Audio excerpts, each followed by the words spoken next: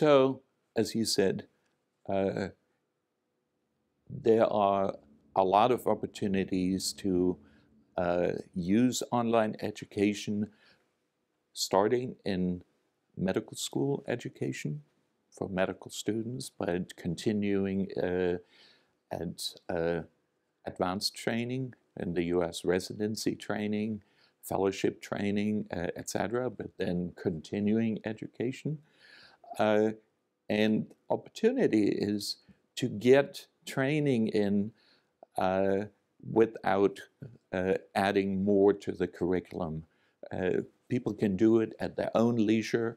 Uh, they can do it fast, they can do it slow because obviously the pace of learning is very different in, individually.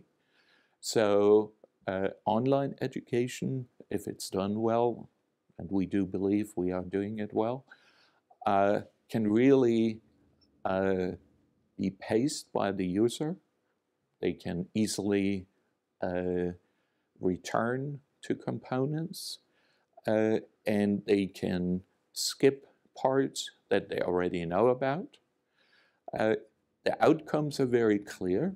Uh, we have done some testing where physicians actually use uh, nutrition much more in their practice as it's needed, such as uh, counseling uh, pregnant women uh, on the weight gain that is appropriate for them. Mm-hmm. there is a lot of research on more effective weight loss when it is informed by good training, good education. So these are skills uh, that can be uh, learned uh, and that can be taught. And uh, what we do is we make uh, online nutrition education through our Nutrition in Medicine uh, portal available to medical schools, but also to more advanced learners, giving them access to that resource.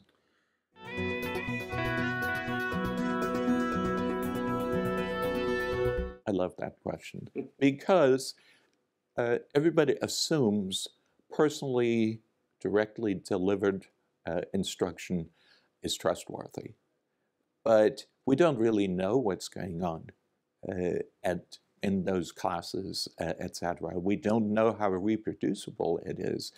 When you present something online, a lot of diverse people, including experts in the field, uh, see it. And uh, ideally, uh, they respond to it. So our materials have been used by many tens of thousands of students under the supervision of their instructors. Uh, we get feedback both from the students and the instructors. Uh, and we are able to correct things if, if they're wrong. So there's a much higher level of transparency.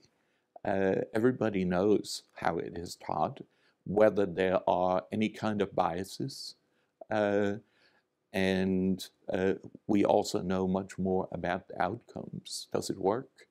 Uh, than about, you know, uh, individual instructors. Uh, much more reproducible. So I think there's strength it doesn't mean everything needs to be taught online, but I would say highly trustworthy.